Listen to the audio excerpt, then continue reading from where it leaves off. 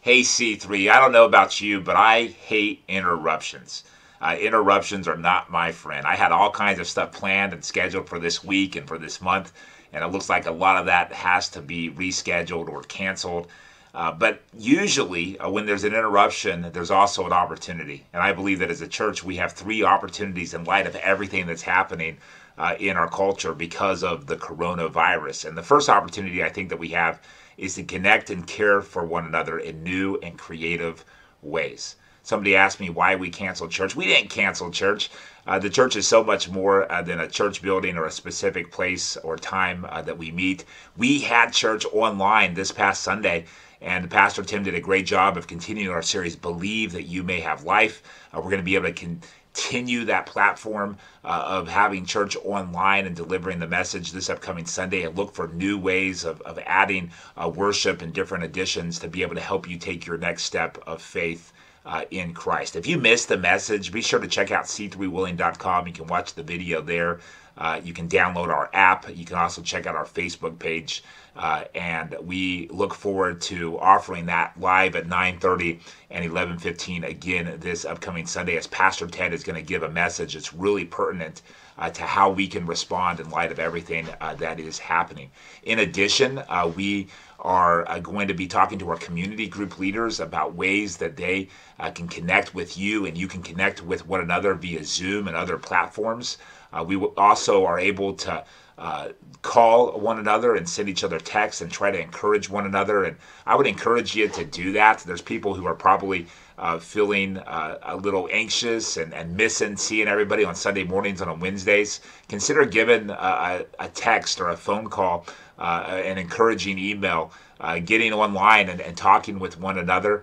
Uh, it may not be the same as meeting in person, but man, there's a great opportunity for us uh, to connect uh, in new and in creative ways. And we're going to be offering even more ways, uh, including a, a Wednesday Bible study that will begin next week. Uh, where uh, we will allow you to, to get on a video conference call and you'll be able to answer questions and read scripture and, and, and interact with uh, the pastor that's leading and, and with one another as well. And so, uh, number one, we have an opportunity to connect and care for one another in new and creative ways. And number two, I believe that we have an opportunity uh, to invest in our community.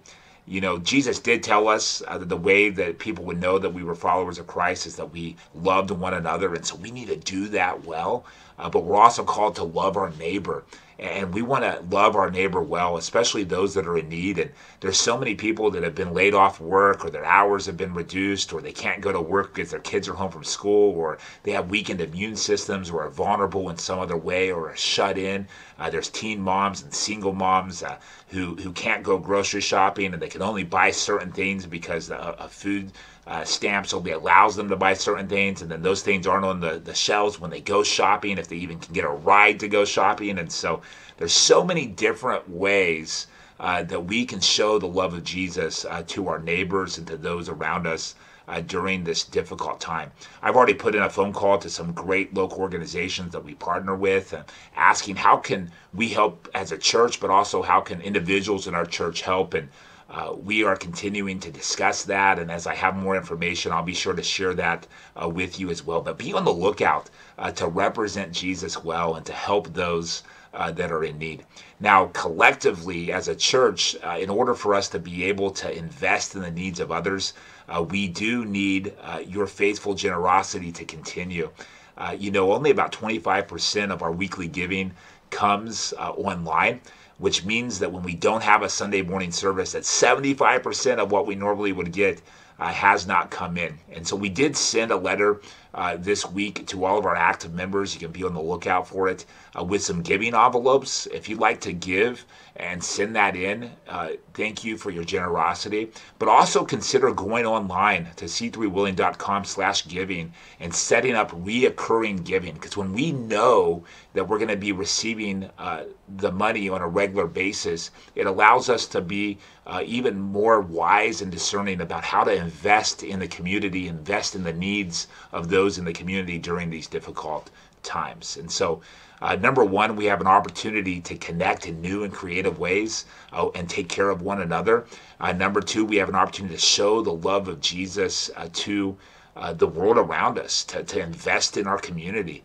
Uh, and number three, I believe that we have an opportunity to pause, to be still, and to pray so many of us were so busy all the time and, and my calendar was so full and, and i'm just running around doing doing doing uh, that uh, over the last week or so i've had a few opportunities that i haven't had in a long time to just pause and to be still and to know that god is god and that i am not and to spend some time in prayer uh, connecting with god and praying for those that are in need uh, in our community. And so uh, yesterday, Taylor McCluskey, one of our elders, he popped in the office and he told me that when the Ebola crisis was happening uh, in Africa, Young Life Africa encouraged its leaders to pray Psalm 91 every single day for 91 days. And after Taylor left, I read Psalm 91 and man, was it moving. And so uh, we included a letter uh, in that envelope that we sent out to all the, the active members. And on the back side of it, I put Psalm 91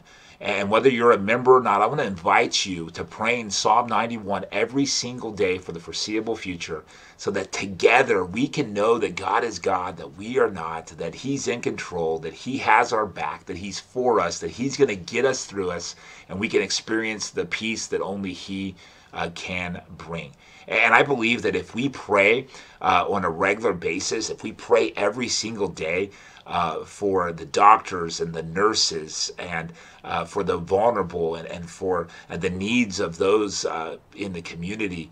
I believe that, that it's going to increase our faith so much that we're going to be so full of faith that uh, we won't be able to help but, but spill out that, that peace and that courage and that faithfulness to the world around us that's so full of anxiety and worry. And so, even though this may look like an interruption, I believe that it's a real opportunity. Will you join me in praying? Heavenly Father, thank you so much for uh, your faithfulness to C3 for 20 years. You have been faithful over and over and over again in difficult seasons and in joyful seasons. And we look back and we see that so many lives have been changed right here in this church, but you've also used this church to impact this great community in incredible ways. And, and we know that we have an opportunity. We have an opportunity now uh, to be able to connect and to care for one another in new and creative ways. We also have a great opportunity to be able to represent you well, to invest in, in the community, to help people that are in need. And I pray that you would give all of us individually, but also collectively, wisdom about ways that we can truly represent you well and be your hands and feet to those that are in need in our community during this difficult time.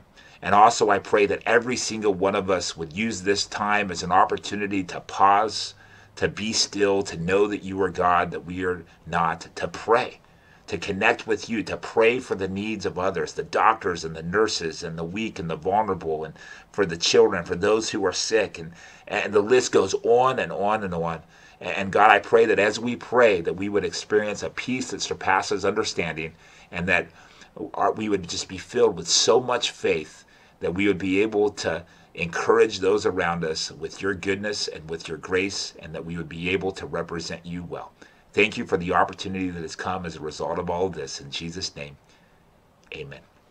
And so, even though it may seem like an interruption, I believe that we have a real opportunity. May we represent Jesus well during such a time as this. I look forward to seeing you this Sunday online.